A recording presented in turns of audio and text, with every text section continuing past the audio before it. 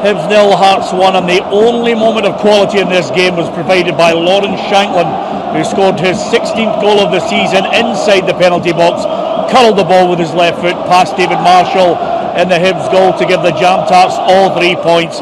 This really wasn't a Christmas cracker, it was a dreadful advert for Scottish football. It promised much though in the six minute Hearts had a penalty. Shankland stepped up and hit the post and the chance was gone. Ten minutes later, it was Hibs' turn from the spot. This time, Martin Boyle, he drove the shot low, and the outstretched arm of Zander Clark pushed it onto the post, and the penalty chance was gone for Hibs.